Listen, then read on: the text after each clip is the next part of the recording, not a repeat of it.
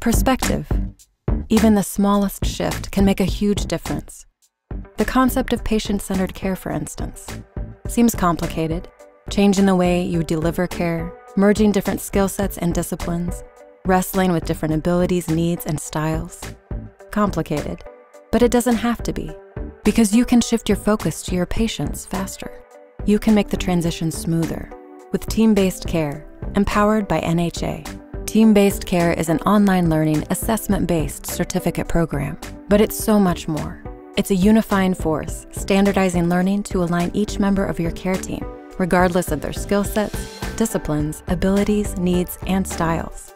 This allows your staff to truly come together as a team, surrounding patients in a continuous sphere of care.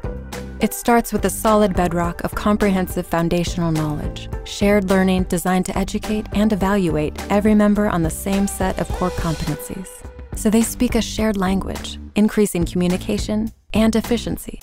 Team based care is also convenient, online, flexible, and self paced. It gives your team freedom to work around already busy schedules without disrupting day to day operations. Finally, and perhaps most importantly, team based care is measurable. Trackable utilization and performance reporting lets you monitor progress and measure success as each team member moves toward earning their certificate.